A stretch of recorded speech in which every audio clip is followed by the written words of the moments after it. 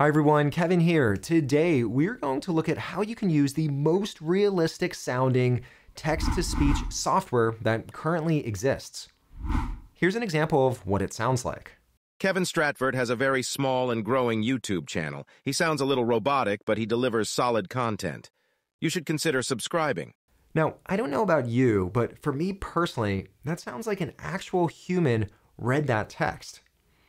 The vocal emotion, the intonation, it all just sounds so realistic.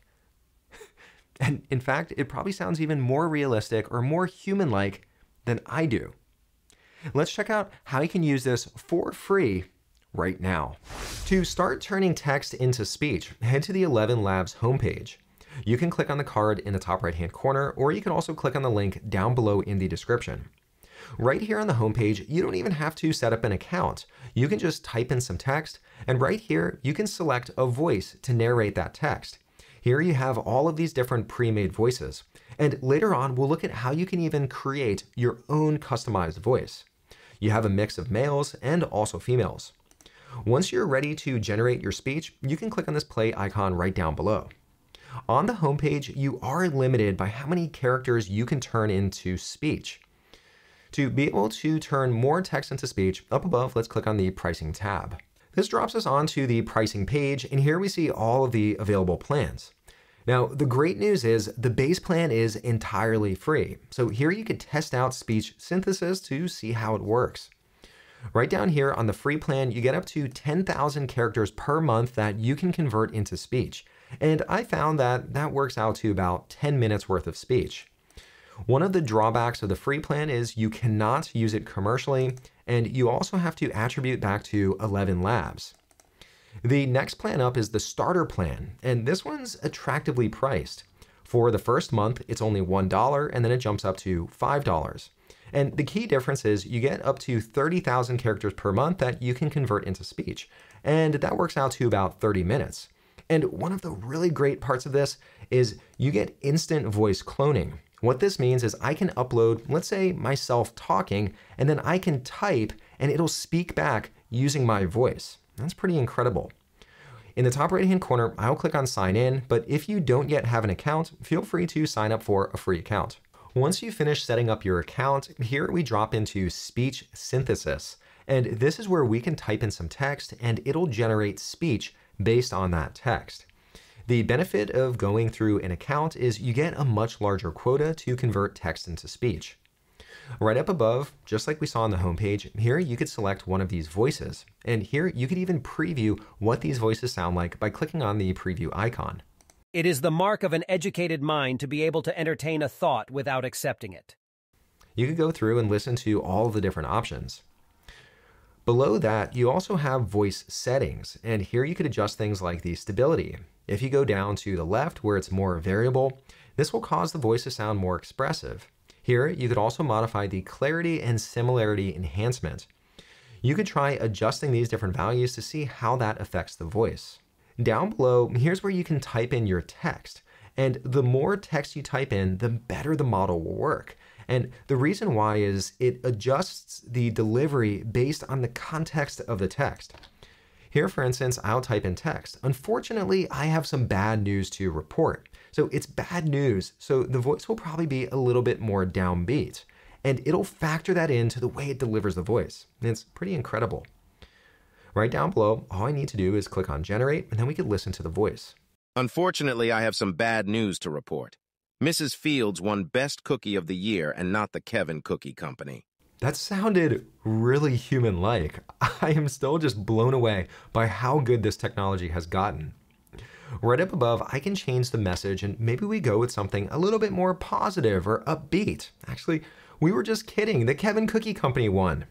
Right up here, I can choose a different voice. Let's try Elli to see how that one sounds.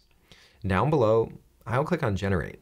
Haha, just kidding. Great news to report the Kevin Cookie Company has the best chocolate chip cookie. Yay, this is fantastic news. That too also sounds fantastic. If you like the voice, but you weren't quite satisfied with the delivery, up above you could click into voice settings and you could try modifying these different values. Or you could simply go back down to generate and you could simply regenerate and you'll get a slightly different variation. Let's listen again. Haha, just kidding. Great news to report. The Kevin Cookie Company has the best chocolate chip cookie. Yay, this is fantastic news. So there you get the same voice, but it's slightly different. And you could go through and generate again and again until you find one that matches exactly how you want it to sound. Along with the pre-made voices, if you scroll up the page, you also have the option to add your very own voice. You can click on this, or up on top, you can click into the Voice Lab. Within the Voice Lab, you have two different options for making a new synthetic voice from scratch. Over here, you could design a voice, or you can also clone a voice. Let's test this out by clicking on Add Voice. Let's start by looking at voice design. This opens up a prompt where I can now generate my very own voice. At the top, I can select a gender. I'll select male. I can also select the age. I'll go with old. Right here, I can also select the accent. I'll select British, and here I can define the accent strength. Down below, I'll type in my text. I can confirm the Kevin Cookie Company does indeed have the best cookies in the world. And down here, I'll click on Generate. I can confirm. The Kevin Cookie Company does indeed have the best cookies in the world. How would I know? I'm old, wise, and a British accent speaks with authority. We're going to have to use this in our next marketing campaign. Here, I'll minimize this section on the bottom, and then I can select Use Voice. Here, I can give my voice a name. I'll type in a name and then click on Create Voice. Now, anytime that I want to synthesize text to speech, I can use this specific voice.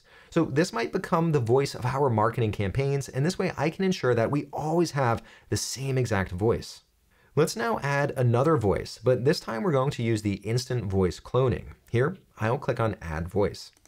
And right over here, let's select Instant Voice Cloning. I can now add my very own voice by uploading sample audio. And what better voice to try than my very own voice?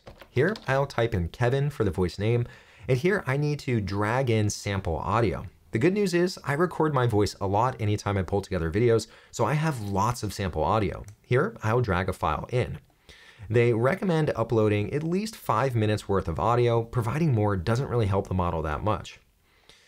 Right down here, I could also apply different labels, and I need to enter a description. So I might as well say a handsome, amazing, incredible, brilliant young man with a beautiful sounding voice. I mean, that's an accurate description, right?